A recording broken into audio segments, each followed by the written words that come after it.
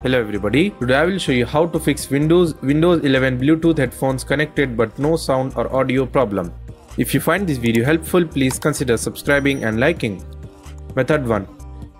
Right click on Windows icon, click on Device Manager, click and expand the sound option, right click on Realtek option and update it.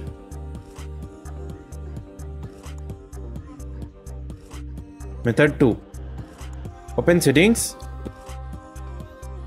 Click on system. Click on sound. Click on more settings. Now select your sound type and click on level. Increase the level. Click on balance and try to balance the sound.